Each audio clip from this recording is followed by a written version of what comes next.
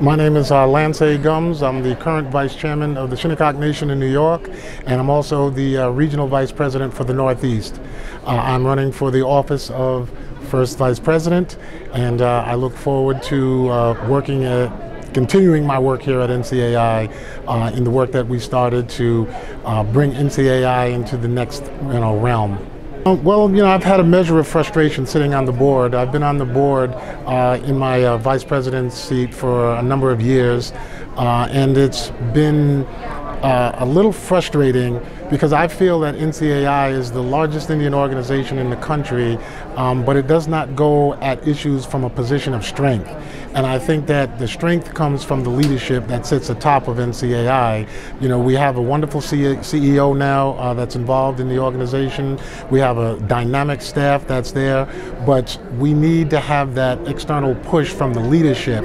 Um, and then the second part of it is just listening. Uh, in my tenure on the board, we have not really listened to tribal leaders and what their concerns are. So I think those two issues are really what I'm focusing on as we move forward with uh, the new NCAI.